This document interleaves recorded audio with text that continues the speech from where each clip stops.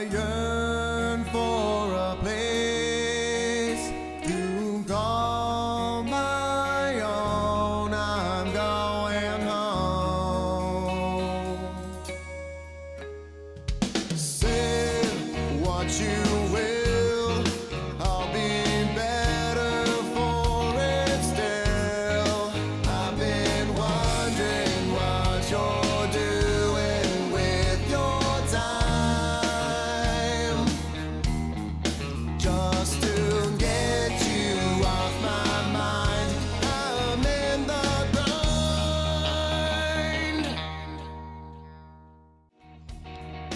The Grind, brought to you by Rig'Em Right Waterfowl, Dakota Decoy, Lucky Duck, Hevi-Shot, Delta Waterfowl, and Wild Ear.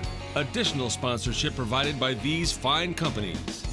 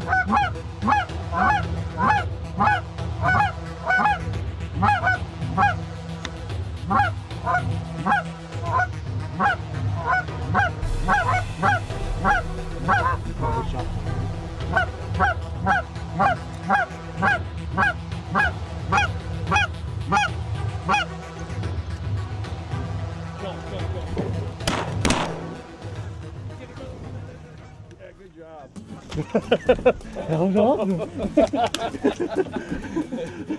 that was awesome. We got set up just in time, I guess. Yeah, we did.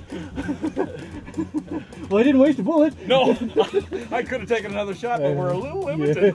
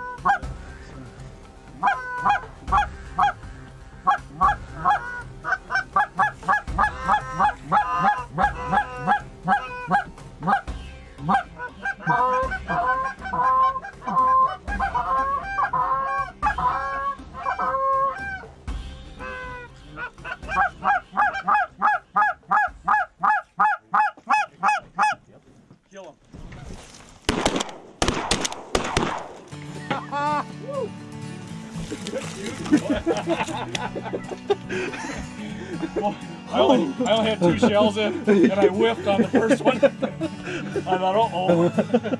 We got all four of them. Man, they would not. We had to work that one. Nice work, Pat. They liked the, the comeback. Yeah, they didn't did. He had Yeah, to really yeah. moan on. Yeah. That was awesome, guys.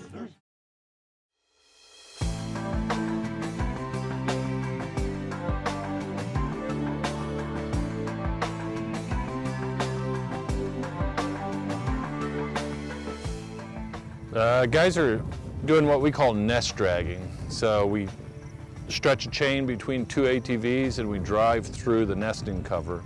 And the chain causes enough sort of noise and, and disturbance in the vegetation that we flush females. And that's how we find nests and then we monitor the nests to look at nest success. Pretty much what we're trying to do is find effective ways to manage ducks on the prairies.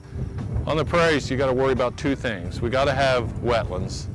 And so we focus a lot of our energy on protecting wetlands, particularly small wetlands. So a large wetland like that isn't at risk of being drained, but those small wetlands are the ones that are most valuable. Protect wetlands and then improve nest success. Nest success is the driver of productivity on the prairies. What we're doing on the prairies is trying to figure out ways to manage so we reduce nest predation. Because most of the nests that fail, and most nests fail, fail because the eggs got eaten by a predator.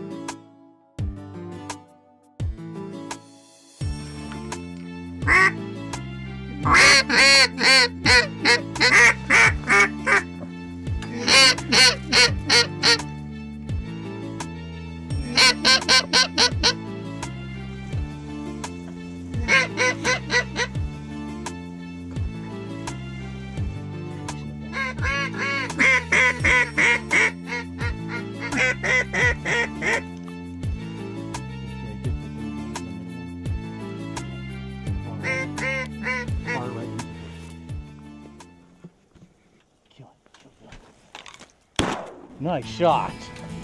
Man, I was out there too. Good job. That, That was a That- good you shot, know- Billy. that was, judging by my shoulder, that was I had one speedball number one. Judging by the pain, that was it. well, it worked because he's doing the backstroke.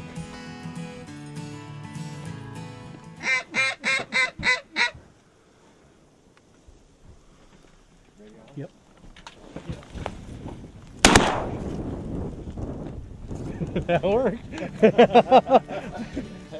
Nice. See, the, the, it's like the groups are easier Yeah. than the singles and the double. Boy, there's a lot of brown in there. Yeah, I know. I picked out my Drake and smoked it. I did too. and I thought about a second one, and then I remembered the shell The situation. shells. till the boat gets back. yeah, we're down to half a box. I haven't missed yet. I whiffed on that. Those four geese we just got. Yeah. I whiffed on my first shot. I, oh no, because I knew I only had two shells. Uh-huh. You got you made up for it.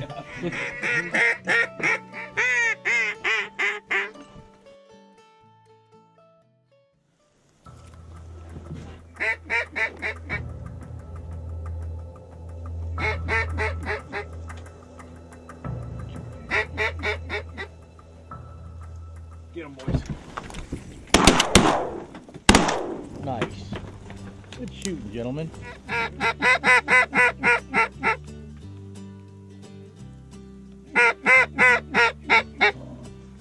Let's shoot him, Alex. You got a hand. Did I? yes. Bill got a hand. Oh! I think it's a black duck. Yeah. I, is that why you didn't shoot it too? I couldn't figure out why you didn't shoot it. Pat crushed the one Drake, and then I just saw a hand. I saw a far Drake, but then you smoked the hand. Good job. You know what? They taste just as good. And they allow you to shoot. They allow you to shoot two. Yeah. well, Pat's, yeah, it just, they don't look as pretty in the mix. But you owe us a dollar each. They're coming in nice. Yeah, beautiful.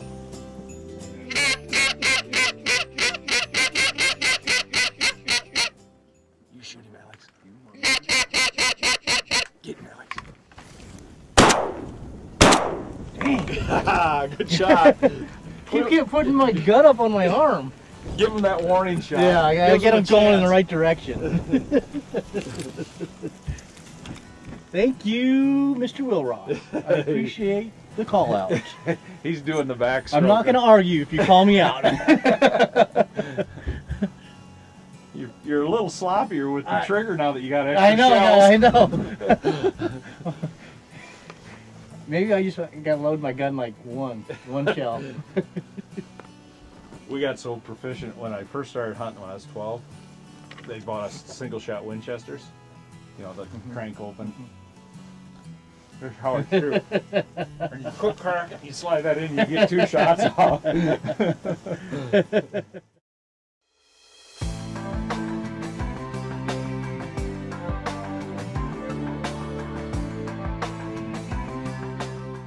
how we can tell that this nest has hatched is this membrane right here. You see that this is this actually is inside the egg and this is what protects the developing duckling from bacteria.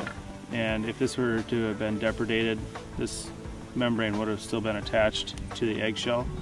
Um, so we can tell that this has been a successful nest and this was a mallard nest, hatched out nine eggs.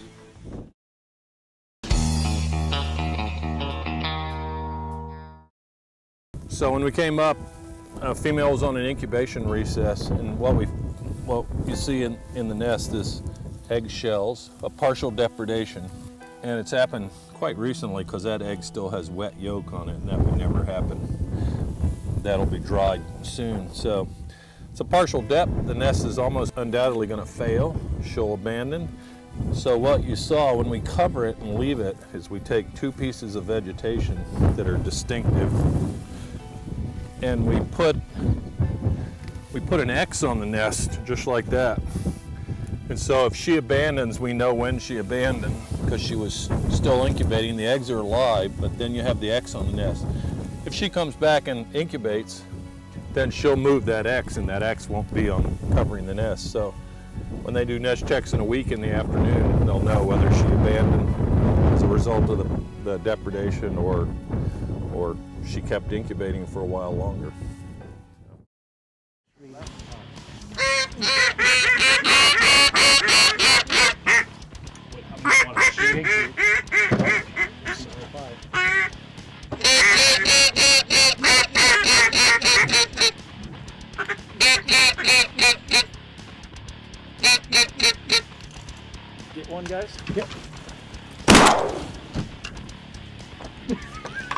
Good shooting. Three pounds. Perfect.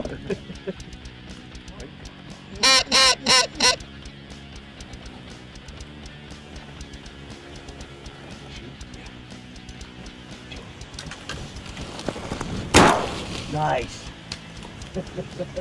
Good job, Billy. I like getting called out every now and then.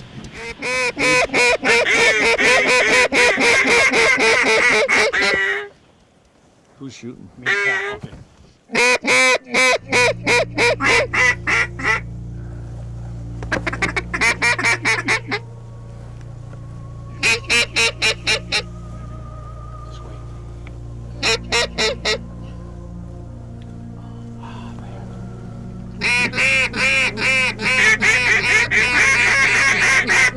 Oh, they're gonna get good this time. Sliding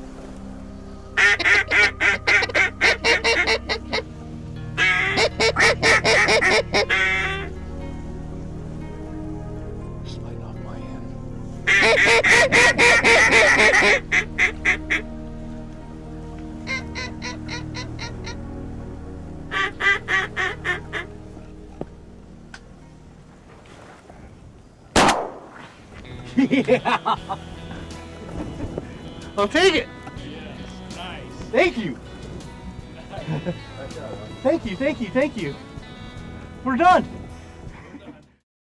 Fortunately, ducks don't put that much pigment in their egg, in the shell, and so what we can do to judge the stage of, of this nest is this thing hanging around my neck is just a piece of radiator hose, and, and uh, we just look through the egg, and we can see through the shell. You hold it up to the sky, and you can see through the shell.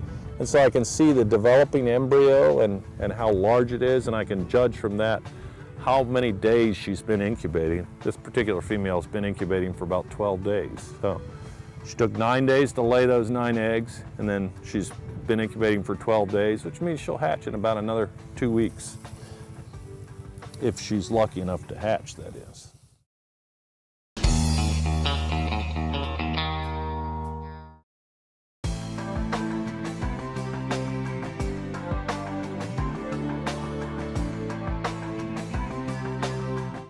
Checks on a quarter section that's been trapped and had real high nest success.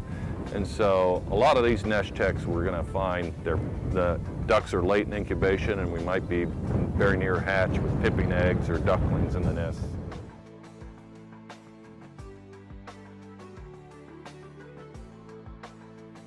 in a more advanced stage of pipping than the earlier eggs we've seen.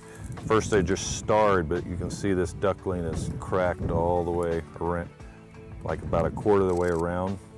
So these guys will probably be out late this after, late this evening, and then they'll spend the night in the nest, and then tomorrow she'll leave the nest with the dried off ducklings.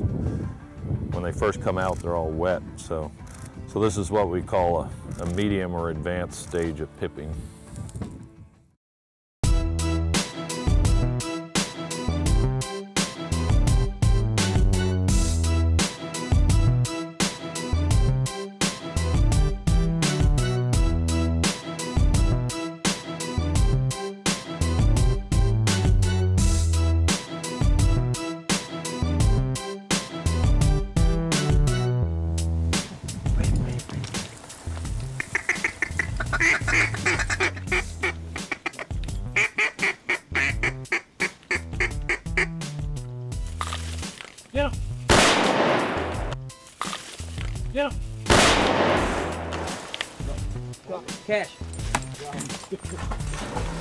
Nice, guys. Hey, Good shooting. a little bit of work pays off right there, doesn't it? Take it. Nice work. Run, bird on the right, single.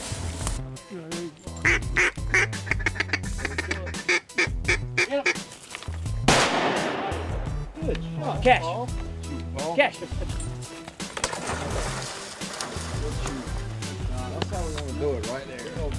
Good shot. Paul.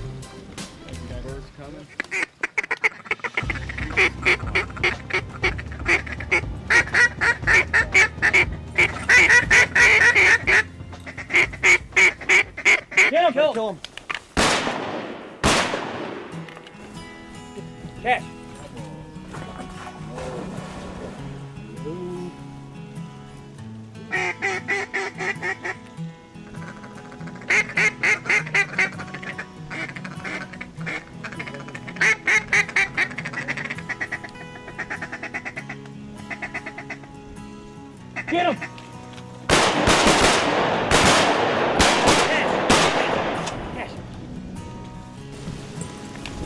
Take your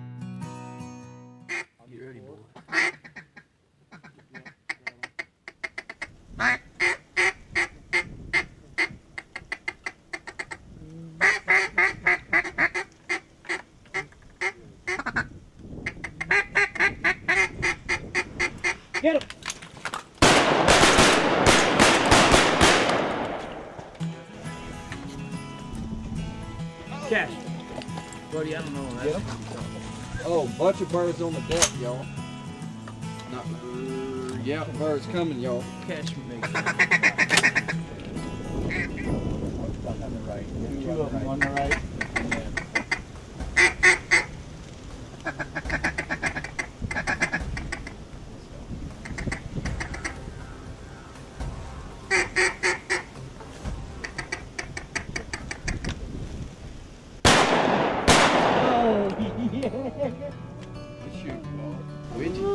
Get them going in the right direction and then, hey, that's why they give you three. That's why they give you three. I know. the first one was a warning shot, right? exactly. I get it's like you, you, you, you scare them. You, you get them going right direction. Yeah, it's right at us. Right at us. Get him. Oh, you got him. you got. Oh. That would be called a team effort. Right here, right here. So the prairie pothole region is, is the most productive duck breeding area that we have in North America. Anywhere from 50 to 70% of our ducks in, in North America are produced here. And it's a relatively small part of the total breeding area. It's like only 10% of the total breeding area. So in spite of the fact that it's a small part of the total breeding area, it's huge. So that's why at Delta, for long-term habitat, we're focusing on farm policy. We've also secured an awful lot of habitat, and that's why at Delta we strongly believe that we should be managing that habitat. So that's why we're doing this active management here, predator management and hen houses. Those are the things that can work and make the habitat that we've secured productive for duck hunters in the South throughout North America. Join us next week for more of the Grind Waterfowl TV. Check us out on the web at thegrindwaterfowl.com. You can also follow us on Facebook and Twitter.